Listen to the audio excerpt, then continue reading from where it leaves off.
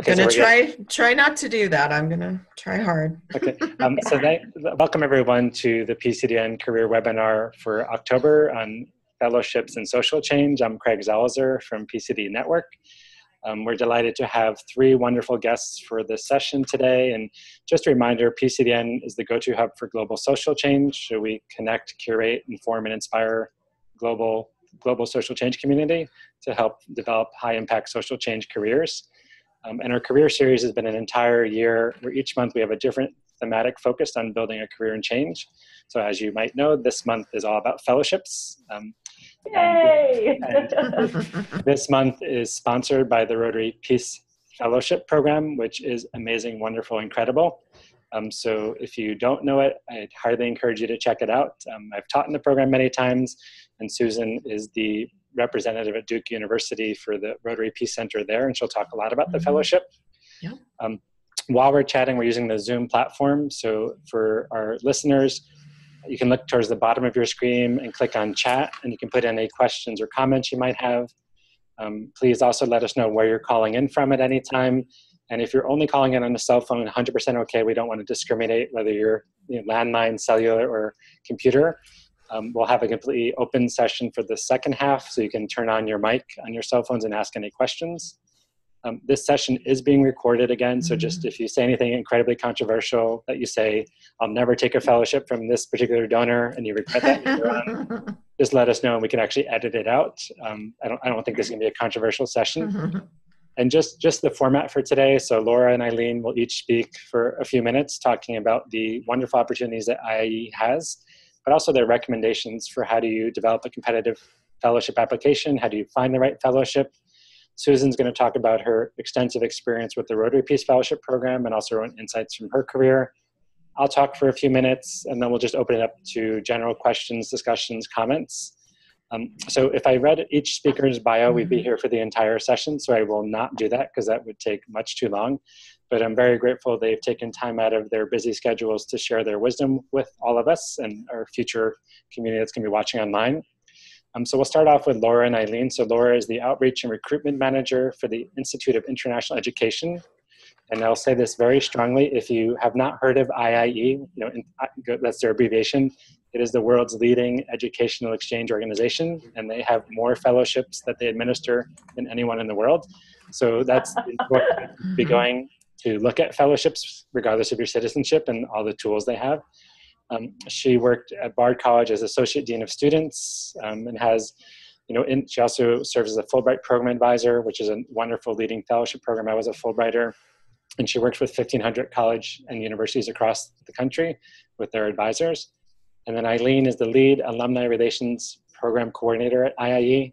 So she helps coordinate and cajole and bring together a global community of over almost 30,000 participants from 150 different programs. And she also holds a MA in public policy from Central European University, my alma mater as well, another great place to look for fellowships or degree programs. Um, and I'll, do, I'll introduce Susan now as well. So Susan is the manage, managing director of the Duke University of North Carolina Chapel Hill Rotary Peace Center. So it's a very interesting hybrid between a public and a private university. She was named the managing director of the center in mm-hmm. 2015, but has been working there since 2005. And she has 20 years experience working in humanitarian programming around the world. Um, also, the uh, interesting tidbit about Susan, she helped sell Julia Child's house in, in Massachusetts. a little bit of tidbit of information, the famous chef. maybe, you can, maybe you can connect that to fellowships. Not sure.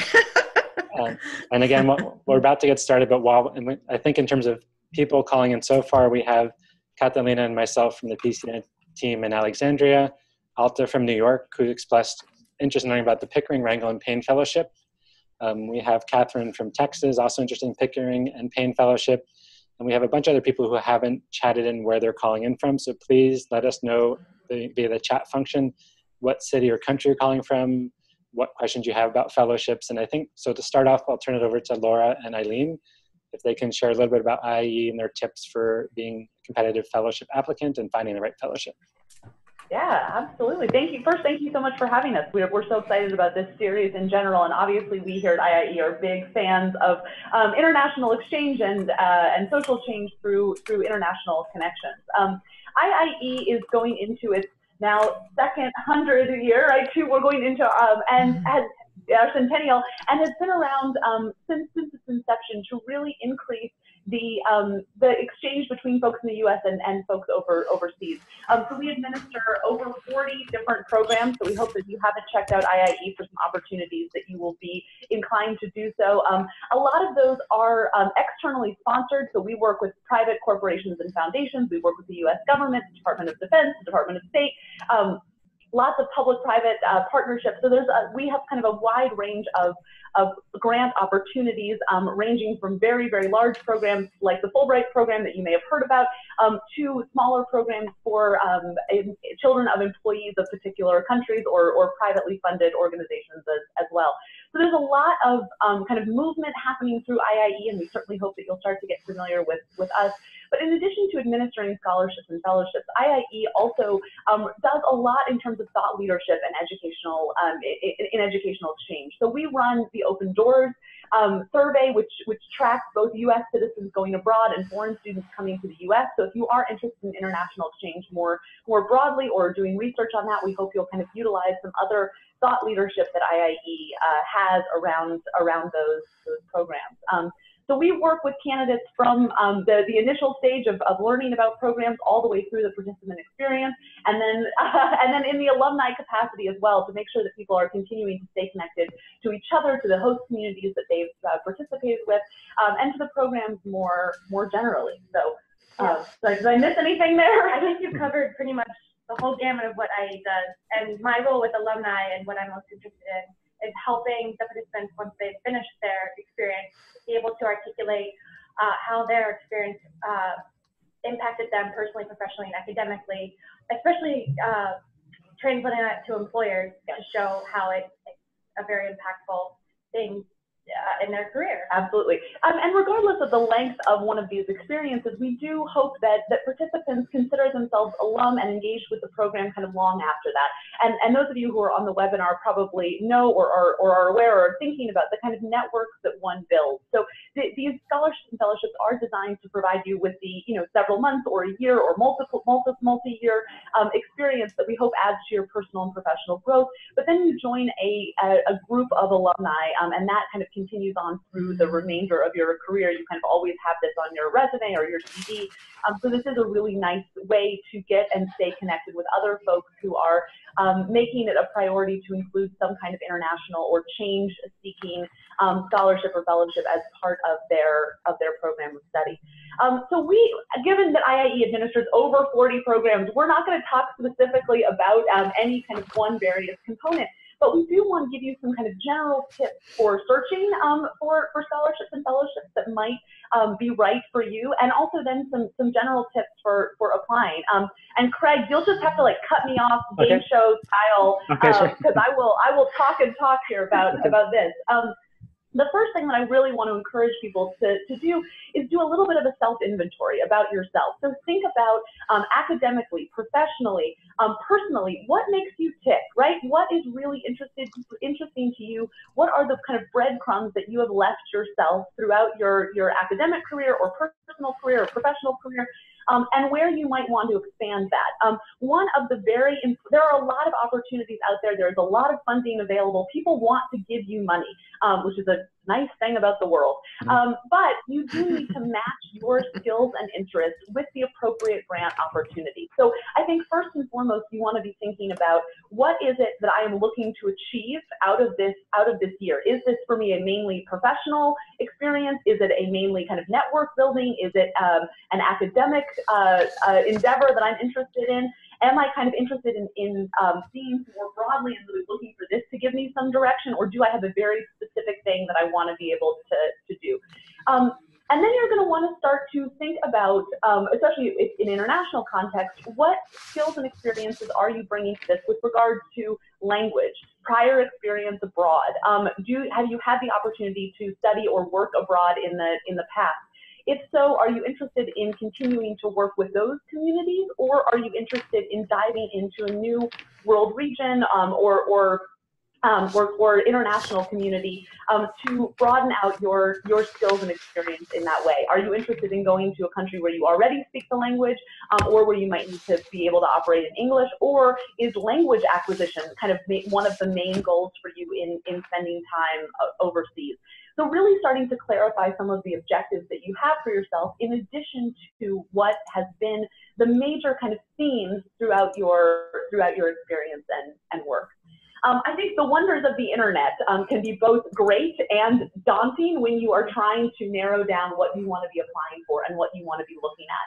Um, so certainly some great Google searches um, are going to, to be helpful here, but I would also really encourage people to get in touch with their alma maters through your alumni office um, to see if there is an office of scholarships and fellowships on, on campus. Um, many, many colleges are starting this process of, of having offices of scholarships and fellowships, so it might not have been a reality while you were on campus or while you are on campus, um, but th- the things kind of pop up. So if you are not familiar, um, and I should say that many offices of scholarships and fellowships on college campuses are eager to work with their alums in this process. Um, so if they're not already connected with the Alumni Association, um, that's kind of an, an, excellent way to, to stay connected and to, and to get, um, to get some additional kind of support.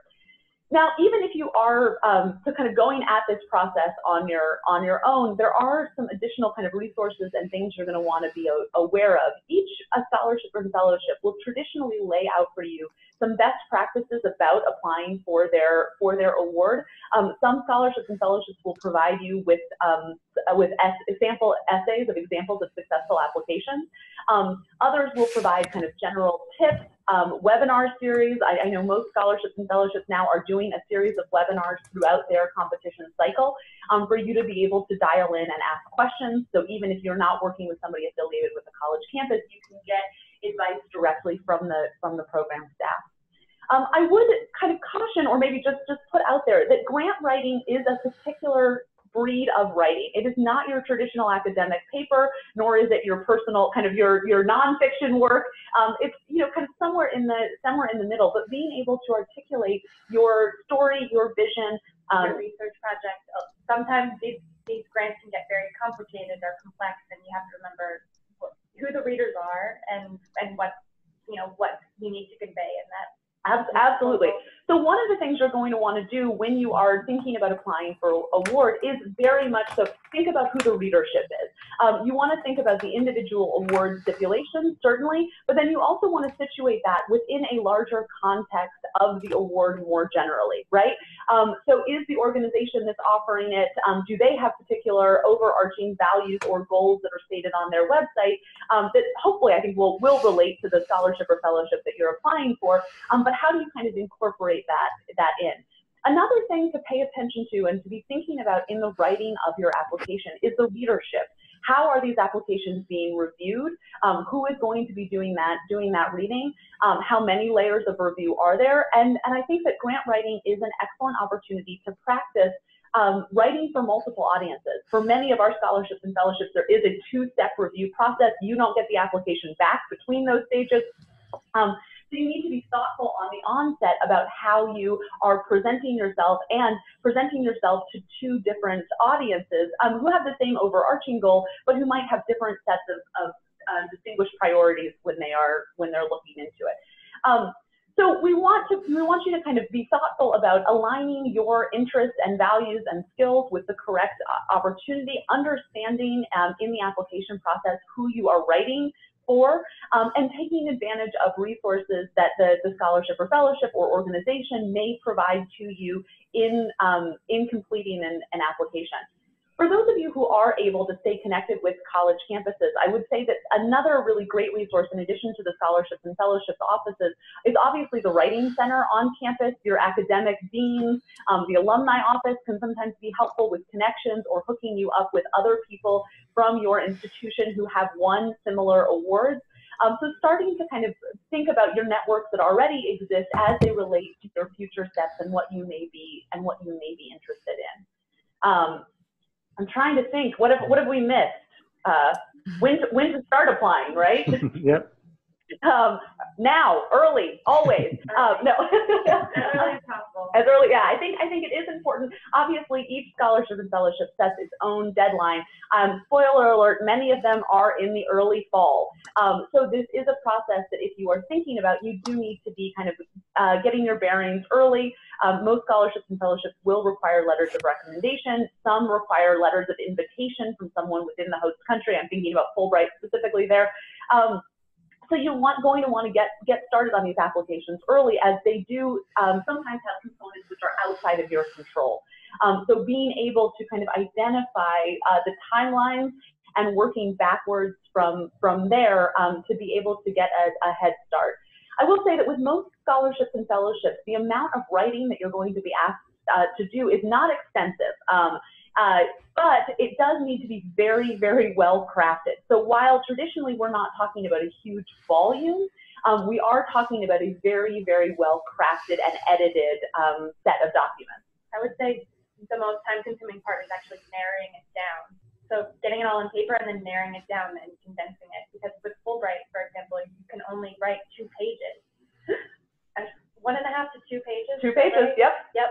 So it's you have to condense, and that's the hardest part. And and I think also this the process of of condensing down um, the writing can can be really helpful to you in solidifying your own process um, and thinking about again what is it in my past experience which is most relevant to the award that's being offered. You all are dynamic and diverse uh, a group of people and have a lot of experiences that if you just put on paper may look like this, right? But what, and, oh, for those of you on the phone, I'm spreading my fingers out wide to show multiple different directions. Um, but for, but in a, in a, in a, a scholarship and fellowship application, you need to be telling a cohesive narrative. And I think that that is one of the most difficult parts of this, that you need to find the central thread of the, the research that you're going to be doing, the teaching you're going to be doing, the, the public policy work, whatever it is that the grant is going to entail, and then telling your story to um, kind of foster and support that, that overarching narrative. Um, ideally, by the time we get through reading an application, we say, of course, this person is interested in doing this thing, right? So you're, you're knitting together your personal and professional interests um, in a way that makes sense. Your, hopefully your letters of recommendation are also kind of pointing us down this, this one cohesive path. Um, so you do want to make sure that you are kind of honing your vision. And I do, I think like Eileen mentioned, um, trying to narrow things down can be one of the hardest, the hardest things. I always encourage applicants when they are writing an application to go through kind of sentence by sentence and say, does this, what are the central themes of my application? What am I proposing to do? And does this sentence support or divert from that overarching mission, right? And if it if it diverts, either you need to change it or you need to take it out um, because you are not given a tremendous amount of space, and anything you are providing for us does need to be in in a cohesive um, a narrative towards why you should be funded to do this to do this award. Um, okay. All right. That, that did we hit all of the, did we hit all of the points here? I think all the. I'll, I'll add one more thing don't forget that a lot of these scholarships and grants are stackable. Whether it be, you know, following on with the Gilman Scholarship to get a Fulbright afterwards, our panelists love to see that. Yep. Um, but also, you can get a Boren and Gilman at the same time. So just do your research and realize that you can do these things all at once yeah. as well. yep. Um, so that, thank you very much. I think you should put that on the IE website as like concise. I, I think I, I, think I had 14 steps. Only I ran out of space for typing, but 14 steps we had to do for kind of being competitive fellowship applicants. Um, I think you, you, want, you want to add anything else? No. Um, no, we're happy to happy to answer questions if there are, but but I I know we've been monopolizing time so far. Okay. Good. Um, so we have a couple more people called in. Not everyone. We have someone from Ghana, Houston, New York, DC, and other places. And so, Mm-hmm. Susan, I'm going to turn it over to you just to say so the Rotary Peace Fellowship, I mean, they are the sponsor, but I'm not saying this because they're the sponsor of the series. They, it's really Rotary is a, a, service organization that also is celebrating its just about 100th anniversary, I think. Yeah, this um, year. This, mm-hmm. is, this is like time to have two centenarian yeah. organizations. But, yeah. um, but the Rotary yeah. Rotarians is the largest service member organization in the world, doing incredible work in health and other mm-hmm. sectors and peace has always been one of their core areas and they have created the rotary peace fellowship which susan can tell you much more about but i really think of it as the equivalent of the rhodes or the marshall or the fulbright fellowship for peace mm-hmm. Um, it's amazing. It's wonderful. And so Susan's going to convince you all why you should think about applying. I'll turn it over to you. Okay.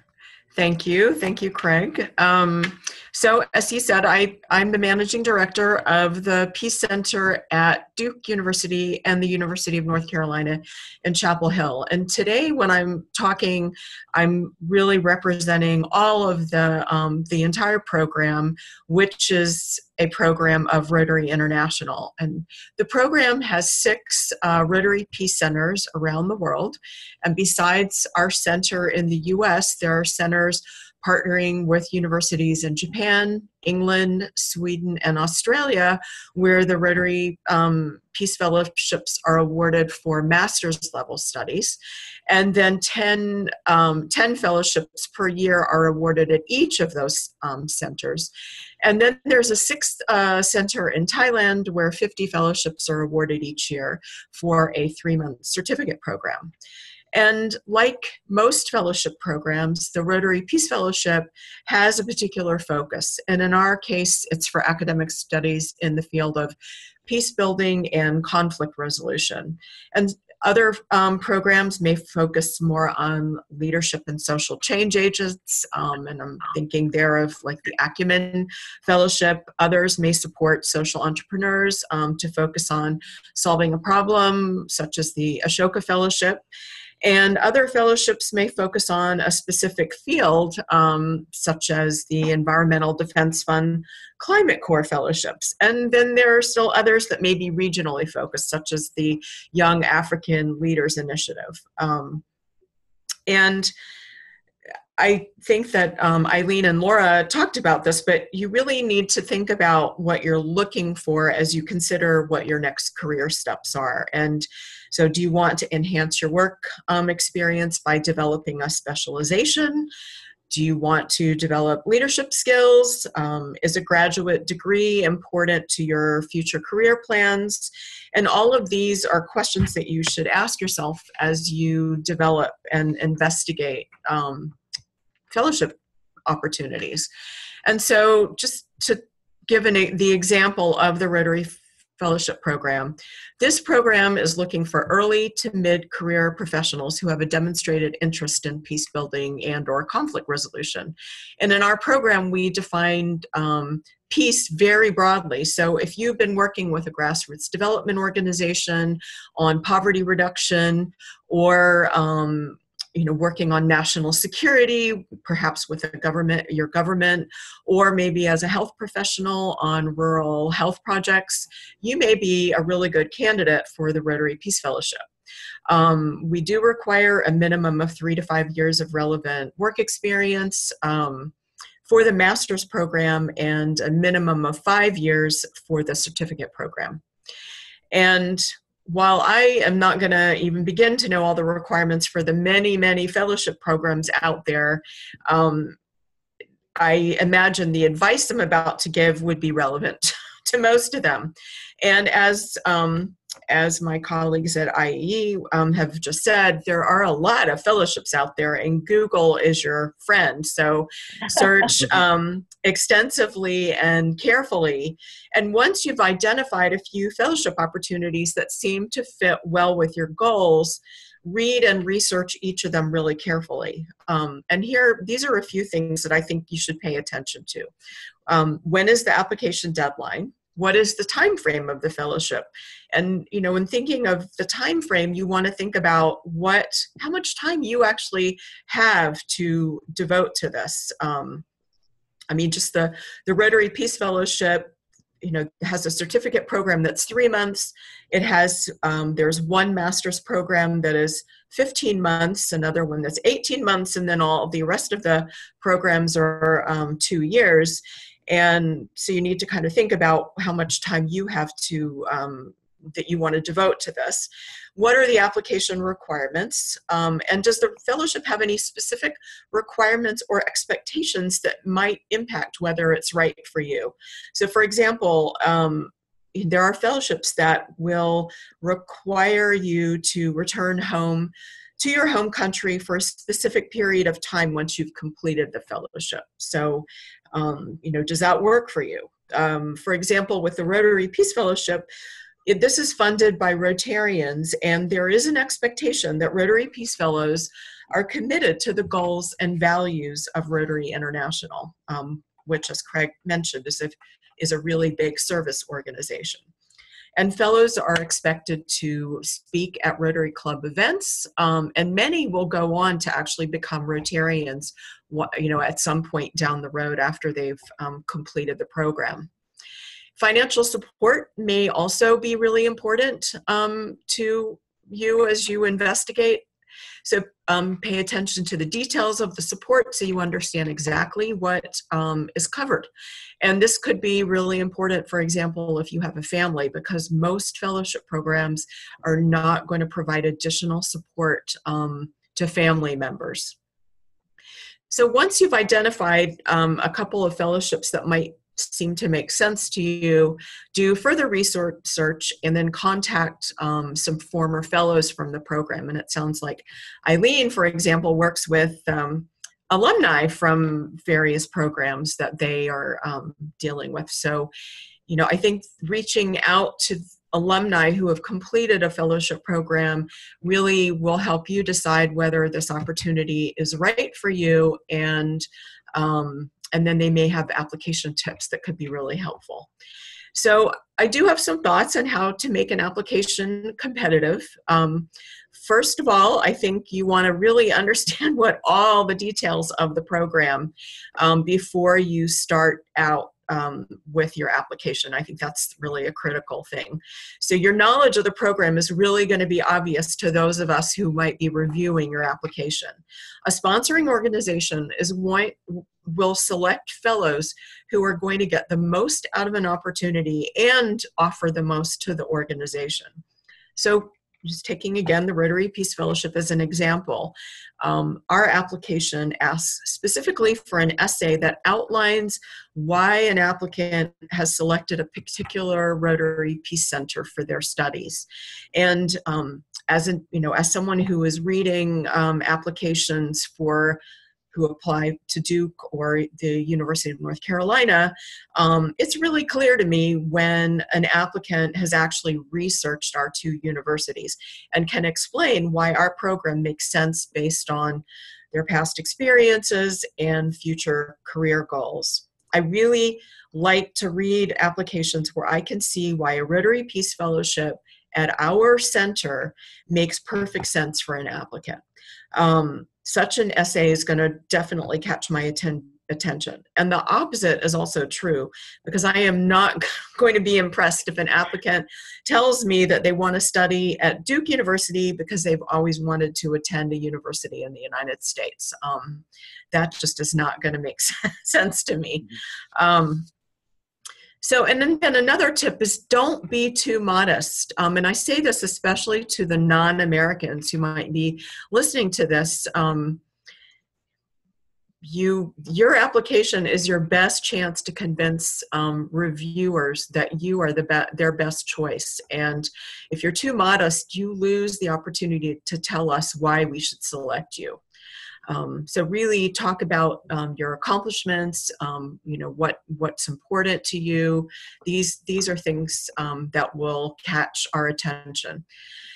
Um, in terms of when you should apply, um, just to go along with what my colleagues at IE said, again, understanding the process is really important because some applications um, fellowships may have a rolling admission so you can apply anytime but others are going to have strict deadlines with quite a few components. Um, so allow yourself plenty of time to create complete an excellent application. You know if in your research you discover the perfect um, fellowship, but the deadline is actually the day after tomorrow, chances are you're really not going to do a good job um, with the application. So, for example, with the Rotary Peace Fellowship, um, there are some key steps involved, and one of these is securing an endorsement from a Rotary district. And there are 520 something Rotary districts around the world.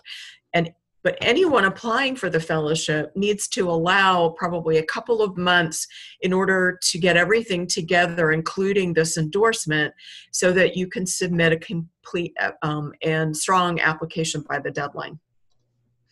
Um, I guess my final thoughts would be that there really are a lot of fellowships out there, and I think the number seems to be growing. Um, and the number of people applying for them is also growing. So there, you know, many of them are very competitive. So think realistically about whether a specific fellowship is right for you. It's much easier to put together a strong and competitive application when it's clear that you fit the fellowship criteria and goals really well. So. Okay, thank you very much, Susan. Um, so uh, there's a lot of wonderful advice. Um, while while you were talking, we had a couple other people call in and ask questions. So we have Boston, Ghana, Texas, New York, Virginia, North Carolina. I'm, I'm going to just make three comments because I want to hear questions from the users and listeners. Um, so the first thing is, I think as Eileen, um, Laura, and Susan have said, is don't be humble, but also don't be egotistical. And the way I like to yes. phrase is an application should show that your entire life has destined you for this opportunity without being egotistical. and that doesn't mean going back to kindergarten, but it has to be a compelling, compelling way of showing your mm-hmm. professional and academic experience and what the fellowship offers. There's a logical connection and also post fellowship. So, for example, if you want, I had a Boren fellowship, I had a Fulbright fellowship. Mm-hmm. You know, I had to make a case why that country, why that particular language. You can't just say there's a fellowship opportunity in China. I want to go to China if you have no evidence of East Asia, of Mandarin or Cantonese, like there has to be a logical connection. And you have to make it as clear as possible because the readers will, if you don't make it clear, they're going to get frustrated and just ignore you. Um, so, because I, I, review a lot of fellowship applications, so, so be humble, modest, eager, you know, but find the right branding and the right mm-hmm. framing of your experience, and and don't tell your whole life story. Like find the right three components or 4 mm-hmm. components, Second thing is having been a referee or refer many times for my students, um, it's very important to ask, think about who you're going to ask to provide references and make it as mm-hmm. easy as possible for that professor or employer and ask months in advance. Give them everything they need. I really mean this like a month in advance, your very strong essay that's fully edited and almost perfect. Um, some professors will ask you to write draft recommendations which I've done many times. And I'll tell you a funny story. When I when I got a Fulbright fellowship, I wrote one of the recommendations. I don't know if this is okay to tell. You know, 25 years later, um, you know, and you know, and and the person whose name was in what got the feedback that was one of the best recommendation letters they had ever received. I, I wrote it in her name. Mean, she edited it. It's like you have to understand how to write a letter because if I ask a student to write a letter for me, it's not a good letter. It, it's harder for me for me to make it a great letter. Um, and then the third thing is become a fellowship machine. Um, and what that means is like if you're going to apply for one fellowship, it's almost not worth it because often there's 10 to 20 to 100 applications or applicants per fellowship. So start doing your research early and find three to five fellowships to 10 that fit your interests that you would be competitive for. And once you've applied for one and done it well and gotten feedback from all the, the different your peers and mentors, then it gets easier to do the next one and the next one and be prepared to be rejected. Um, so I've actually, I, I, was the Boren mm-hmm. Fellowship Advisor at Georgetown for nine years. Um, you know, and actually made some of my students cry, not because I'm mean, but they would come in and be like, here's my draft. And I, I wouldn't, I would just say this is, I w- I wouldn't say it meanly. I'd say like, this needs a lot of work and they'd be devastated. But the one, the ones who worked through that often would get the fellowship. So it's like, be prepared to work with mentors, get the feedback, be rejected and if you're diligent and have the qualifications, often you can get one. But it's the people who apply for one last minute and don't put in the effort often will not get it. Mm-hmm. So, so that's, I don't want to talk anymore. I mean, I, I, will say I had a Fulbright fellowship for two years, a Boren fellowship, a fellowship at CEU. Um, I review a lot of fellowship applications, and I don't think the reason I got, got fellowship is because I'm smart, it's because I had great mentors. And the whole reason I applied for a Fulbright is this mentor said you should apply for it, and I listened to her. So you have having mentors who can help guide you the right fellowship applications mm-hmm. is important. Um, so I'm going to start reading some of the questions here, and then you know as we're going through this, please feel free to type in your questions, comments, or resources. Or if you want to turn on your mic or your video, you can do that. So we had a couple of questions. I don't know if any the three of you have any insights that, that, between the Pickering, the Rangel, and the Payne fellowships. I mean, those are all administered by different organizations, so mm. you can feel free to pass but someone just Alta wanted to know how do you mm-hmm. decide which one to apply for? Um, so those, those are all master's level fellowships for U.S. citizens to do grad school and then pursue, usually in the State Department or USAID. So any any thoughts on those? I'm afraid I don't I don't know about that, but hopefully the others do. um, because those are not administered by IIE, I can't uh, speak on those in any kind of official capacity. Um, this is where I would really encourage applicants to um, utilize the resources and the networks that they're already connected with. So fellowships advisors on campuses, your faculty advisors that you've worked with, um, uh, again, kind of reaching out, as Susan said, to alums of the program. Uh, many fellowships, um, and I don't want to speak for these these three because again, I don't I don't know about them specifically. Um, will provide uh, info, contact information for their alums. Some even have a core of alumni ambassadors who are trained to speak with with potential applicants about the about the program. Um, the other thing to think about is do you have to decide which one, or can you be throwing your hat into multiple um, into multiple fellowships baskets, which is something that I would certainly encourage. As Craig mentioned, there are lots of opportunities out there. You get better writing these applications the more you do, um, and there are a number of applications which do have kind of overlapping criteria, right? Be it graduate school admission or re- uh, research, a teaching component. Um, so if you are finding multiple fellowships which meet your requirements and there isn't a conflict of interest of applying for multiple, um, I would say you want to kind of hone in on the ones which best uh, meet your your long-term objectives, but don't feel like you have to limit yourself to just applying to one. Yeah, and if you do feel like you want, you should carefully do an analysis of whether you want to work for USAID for a certain number of years, whether you want to work for uh, the U.S. State Department for a certain number of years. As as someone working in an embassy abroad, you I had an intern that actually applied for the Pickering and got it, but she turned it. It's an amazing program, but she turned it down because she decided she didn't um, want to work in an embassy abroad. Right. So just yeah, really evaluate your long-term goals. And I think Susan's point about the kind of time requirements of the fellowships, um, that plays into both the length of the experience itself, and then also if there is any kind of add-on or service or work Mhm. component that is going to be required of you afterwards, because that is an important thing to, to keep in mind, and you don't want to be accepting a scholarship or fellowship um, that you are not able to fully meet the commitments upon return or upon completion of the of the degree program or the or the experience itself. because then they do actually make you pay back the money. Yeah. Oh well. right. But but none of the pe- none of the people on this call are responsible for asking for the money back. So, Right. Yeah. right. um, so, so there's a question from Boston. Um, what is the perception that that admission committees have when a candidate's already had other fellowships? Would that make them le- less competitive or more competitive? And I know you you, you addressed that before, but anyone want to take that on? Susan, do you want do you want to start? Or do you want me to start? Go ahead and start, and I'll add on Yeah. anything. Ab- absolutely. So I think that there's no um, there's no distinct answer to that to that question. If you have had past the, the way that fellowships applications work is about how you are telling your story. So you may have had a, a slew of other scholarships and fellowships, but if you're not connecting that in to what it is you're going to be doing on your grant, then it's not of relevance to us.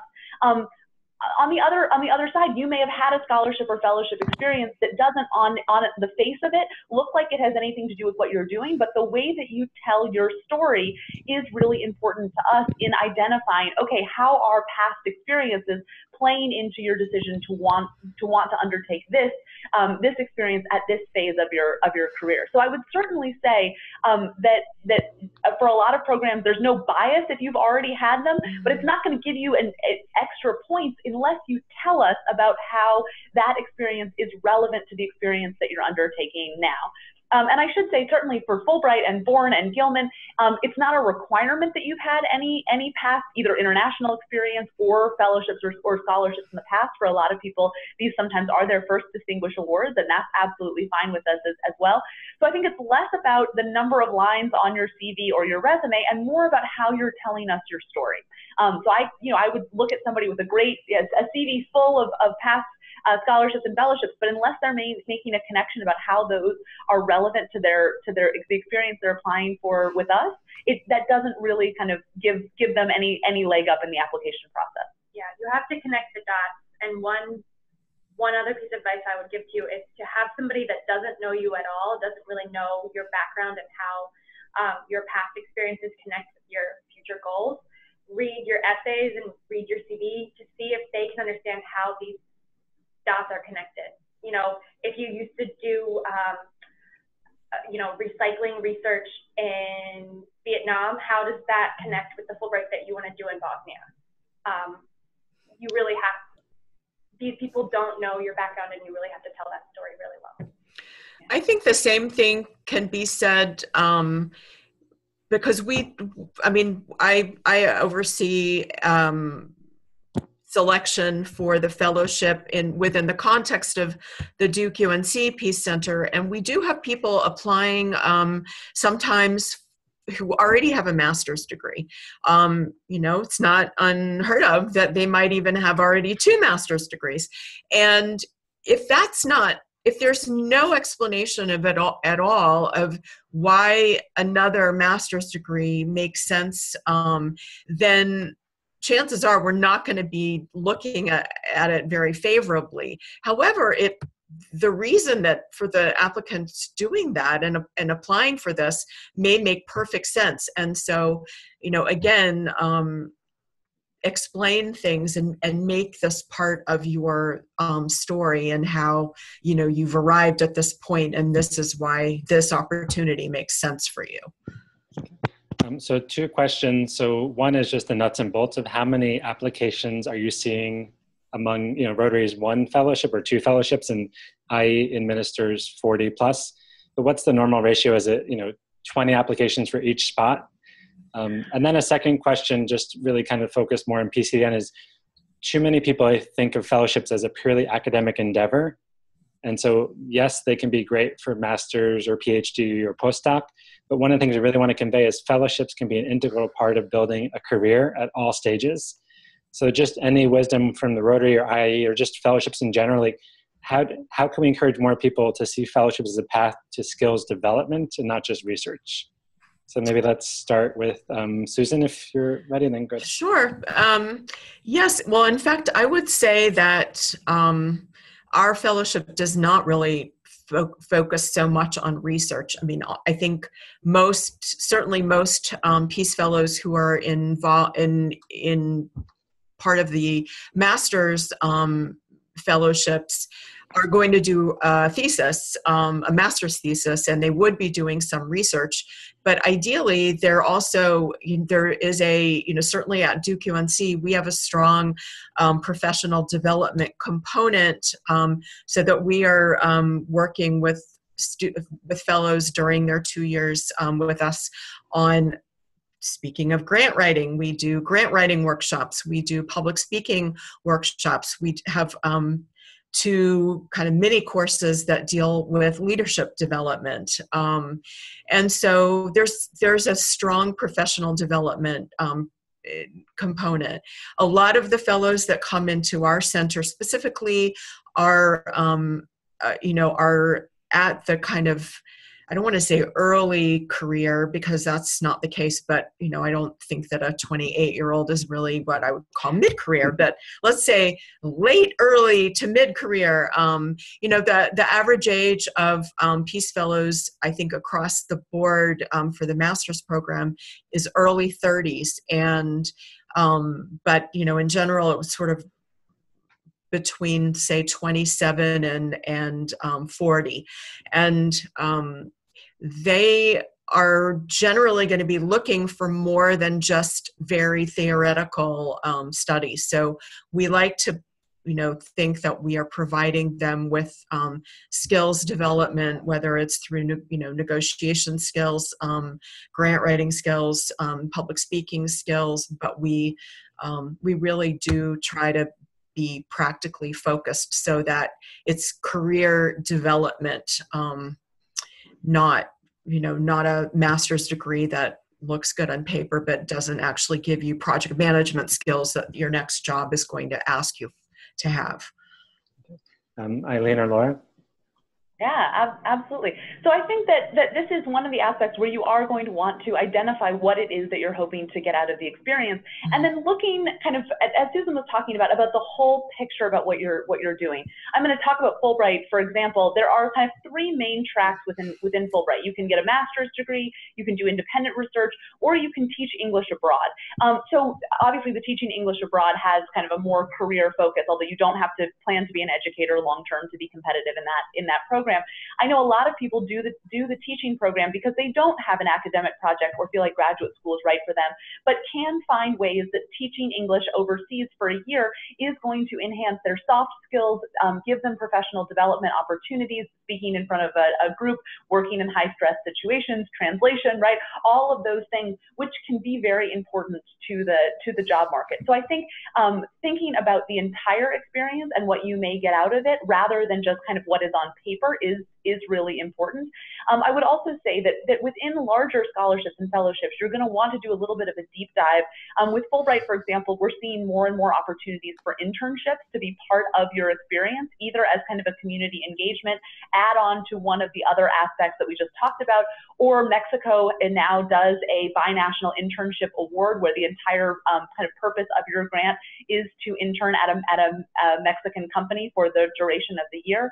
Austria has a, a program um, that is a joint award, so you're teaching part of the time and then doing a um, a kind of a, a, service project or an internship as as part of that.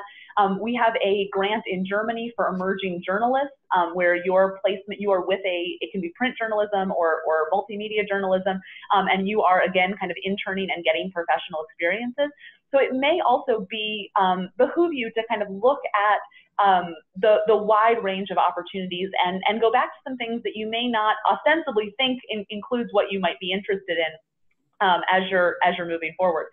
Um, I want to address the, the numbers question because I think it does come up, and, and the answer that you're going to get for each program is it depends. Um, it depends on where, if you're coming inbound to the U.S. or going outbound, it depends on which country you're, you're going to.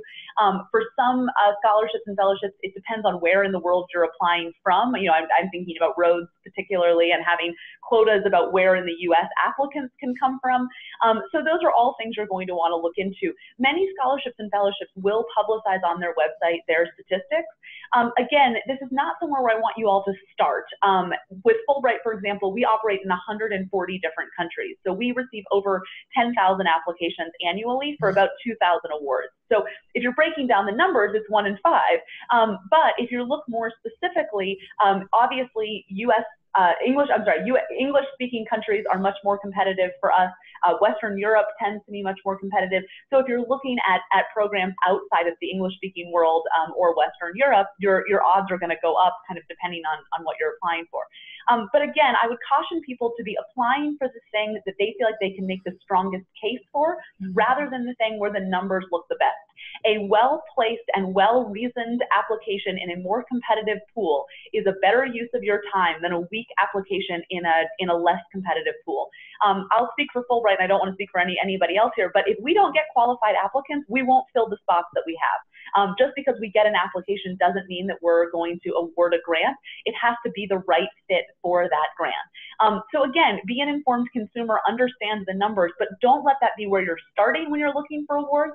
Um, and it really don't let it kind of dictate um, where you are applying um, on top more than more than your interest, um, skills, and experience. Mm -hmm. I'm just going to add on a few things at least with the alumni ambassador programs, I've found that some of the best alumni ambassadors have admitted to me that they re for both Fulbright yeah. and Gilman, they didn't get it the first time and then they reapplied again. Yeah. Because they had grit and they they tried again. Tenacity. Tenacity. so even so the numbers game, I would just you know, with Fulbright you can look at if you're a US participant wanting to go abroad, you can look at, you know, which countries have you know, more spots. You can kind of finagle that, but also at the same time, just grit helps reapplying again. Um, and then I also wanted to add, in related to uh, transferable skills to employers, what we found is that these experiences, for example, the Fulbright ETA program, students and participants gain immeasurable uh, transferable skills, but it's the gap is, is uh, relaying that information to employers in, in a way that's meaningful for them. So really just think think about what you gained while abroad um, during your experience. Like, for example, if you were a Fulbright ETA and you helped manage, you know, a huge caseload of, uh, you know, you did some sort of project management while abroad, think of how you should relay that to employers on a resume for an office management position. Just think about what you're trying to go for because that's that's where we found uh, where the gap is.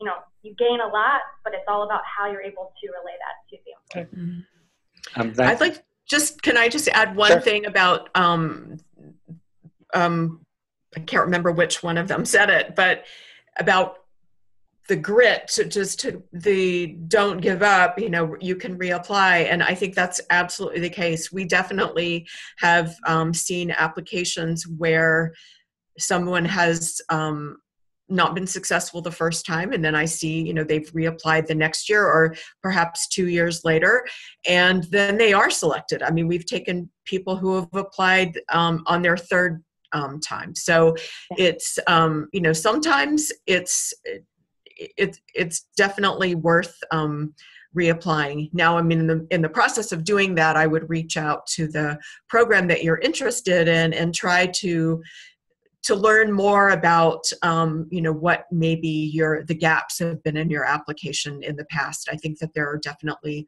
people that are willing to uh, kind of help men- mentor you through the process. Um, so we have about 10 minutes left and we have a whole bunch of questions that came in. Um, I just want to make two comments.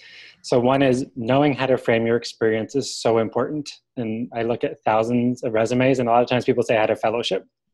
No details about the result, the impact of what they did. And particularly if it's a lesser known fellowship, you know, even a university fellowship. I mean, I've seen people say I had a fellowship and I asked them how much was the fellowship for and they said it paid my full tuition for grad school. So if it's a lesser known fellowship, list the dollar amount in your resume. If, if it's Fulbright or Boren, people will know that. But a lot of times it's like if it's a thousand dollar fellowship, I wouldn't list the amount. But knowing how to frame your experience is so important. And IIE recently came out with a study as part of their generation study abroad about surveying alum about how it helped their careers. So please look up IIE and the study on generation study abroad and kind of the work, kind of the connection between fellowships and work and skills, because it's a wonderful document. Um, so the three, and, and also one other thing in terms of fellowships for social change, there's a wonderful event for people who might be in DC November 8th called the Impact Fellowships Summit. And it's all, it's a convening of about 60 of the top impact fellowship programs in the country. So Rotary is going to be there. I'll be there. I don't. I, think I'm boring staff from DC are going to be from IIE, but it's really like all the fellowship programs coming together, mostly professional ones, and and there's so many out there. So look up the Impact Fellowship Summit. I'll, I'll put the link on before we finish. So I'll, I'll read off the three questions and ask the speakers to respond to any or all of them. So the first one is any particular fellowships you would highlight for career switchers or people over 35, so kind of in the mid-career level. Um, second question, if your college doesn't have an alumni network for people who've had fellowships, how do you go about finding advice? And I think, I think Laura talked a lot about that, but you might have some other questions. And then the third question, does it matter if you have a six month fellowship or a 12 month fellowship? Does it, would a grad school or fellowship program look any differently on the, the length of a fellowship? So, so the three questions, career switchers, um, how do you find alumni from your university who may, if there's no alum network for fellowships and the six versus 12 month, you know, any difference of how employers or other fellowship programs mm-hmm. view that? Any, anyone want to start? I'd be happy to speak to the career switchers because I think um, the Rotary Peace Program does get some career switchers, um, especially people who are going, who've been working in um, the private sector and um, want to um, maybe take the skills that they've developed, which may be you know business skills. Um, they may have been working in the legal field, but always in the private sector, and they would like to you know take those skills, but but um, figure out ways to um, change and and switch directions. Um, you know, and and I think a fellowship is a really good example of how you could do that but at the same time you know we i think we've said this like 20 times um, in the past hour is that it's really how you you tell the story um, and so you know i think it's there are a lot of fellowships that would be good as people want to shift um, shift their careers, and it's just figuring out how you can uh, make the case for that. Yeah, ab- absolutely. I would I would also add that you probably, or for most scholarships, um, and fellowships, if you are thinking about a career switch, the scholarship and fellowship can't be the first step that you've taken in that career switch. That you need to kind of highlight other skills and experience, volunteer internships, um, other ways that you have already kind of started to put your toe in that water to again kind of show that this is something that you're committed to rather than kind of a whim um, with no with no backup experience. Um, I would encourage those of you who might be at kind of more of a mid stage in your career to look at the Fulbright Scholar Program um, which sometimes is a little bit of a misnomer um, because a lot of people think it just relates to people with PhDs, but that's not true. Um, so the Fulbright student program is for people pre-PhD and who are early career professionals, but if you are more of a mid-career professional, I would encourage you to look at the Fulbright Scholar Program, um, as that does have opportunities um, for folks kind of more advanced or, or mid mid level in their in their careers. Um, I want to jump in and talk for a minute about the alumni network, and I'll defer to the expert here. Um, if your institution or your alma mater doesn't have a network to be connected to, that's okay. Most scholarships and fellowships will have a group of their alumni, regardless of what institution that they went to, um, that you can reach out to. Sometimes those names are, are publicized on the website. I know Fulbright has a full uh, database going back to the inception of the program um, of anyone who's had one, and you can do a little bit of social media stalking I mean networking, um, to uh, connect with people who have had the had the have had the scholarship or fellowship in the past. Remember, these people were chosen for this experience. They went on this experience. Hopefully, it was a positive experience. So, reaching out to someone over LinkedIn, over Facebook, to say, you know, I'm interested in going to South Africa on a Fulbright. I saw that you had one last year. You know, do you mind talking to me a little bit about your experience? Can I do an informational interview with you? Um, I think people respond really, really well to that. So, um, so certainly you want to be using the alumni connections at your alma mater, but also be thinking about the alumni connections from the program that are not institution specific. yes, most most of the alumni fellowships that at least IIE organizes, there are official associations that have been created. There's the Fulbright Association. I know Boren has an alumni association. But then there's also LinkedIn groups that a lot of them are secure, but you just request to join, and then you can, you know, ask the whole gamut of folks for advice and connect with them. Um, and most of these associations have websites where you can, you know, see where people did their fellowships and ask for advice, just like Laura pointed out. Um, so I definitely encourage you to look on the web to see if there are official associations. And then there are also informal associations that some of the alums have started themselves. For example, we used to uh, administer this one Bulgarian uh, Young Leaders program, which is amazing. And the alums from that um, from that program actually created their own association, and they have this amazing website online, and you can connect with them. So I would say most most fellowships and programs, if they, there's not an official association, there's some sort of association online.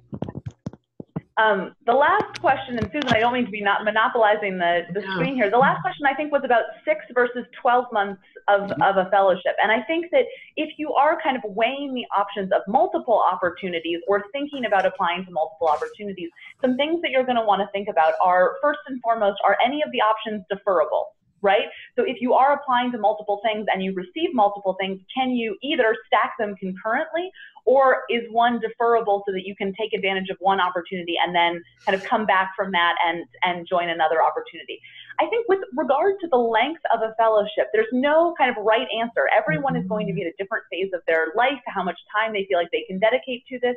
And just like we are talking about telling your your story and your past experiences in a fellowship application when you are kind of promoting yourself to future employers thinking about putting this on a resume or a cv the length of a fellowship doesn't necessarily kind of a 12 month fellowship doesn't look twice as good as a six month fellowship if the 12 month fellowship isn't talked about in a cover letter or, or in your kind of resume in a way that makes sense to the job that you're undertaking. So if you are weighing multiple options for multiple lengths of time, um, I don't think necessarily the length of time matters as much as how much you feel like it will impact you and put you on the trajectory that you would like to see, and then how you are presenting yourself to future employers or other additional scholarships and fellowships uh, long term. Um, so thank you very much for the wonderful wisdom. So I, what I'd like to do is just sum up and ask you one last very quick question. So just to summarize, this will be posted online. Um, IIE and Rotary and most fellowship administrators or programs have great resources you can find opportunities, deadlines, strategies, use alum networks, do your preparation, do not apply the day before. It's just not worth it. be, be, be, nice to your referrers, ask them in advance. Make, basically, your goal is to make everyone's life easier that you're inconveniencing by applying for the fellowship, including the readers. So they just want to be wowed. They just put all the pieces together. Like if your motto is, I want, I'm qualified for this, I want to make it as easy as possible connect the dots do everything in advance get feedback don't you know don't don't just submit it without having other people read it prepare for interviews. We didn't even talk about that. That's a whole other strategy. Um, but like think through the different processes. You're likely to be more successful. Um, so uh, again this this session was sponsored by rotary peace fellowship. Please check them out. They're amazing.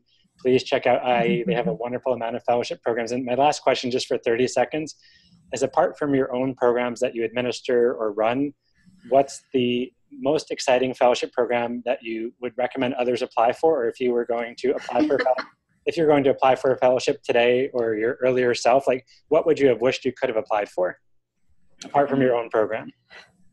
Uh, apart from my own program, wow. Uh, I think I definitely would have applied. Would have, if I was going to do it all over again, I would apply for the Fulbright. Yeah. There's still time. I know. I was going to say never, never too late. Uh, okay. Never too late to apply I'll, for the Fulbright. I'll check it out. Um, outside of IIE sponsored programs, I'm always really impressed with the Watson um, Foundation and the work that they're doing. They have a great scholarship um, for, for students at 50 undergraduate uh, campuses, but they're also running a program now for students um, to get them involved in internships in the summers between their freshman and sophomore, sophomore and junior and junior and I think junior and senior year um, to help them be more competitive in the in the workforce. So I'm always a big a big fan of, of their work and, and their uh, impact in the world. Okay. I would say the Erasmus, Erasmus Mundus program. A lot of people don't. It's the European version of Fulbright. I would, mm-hmm. I would mm-hmm. say you can actually apply to it, get a master's degree in Europe if you live outside of the European Union. Um, it's specific.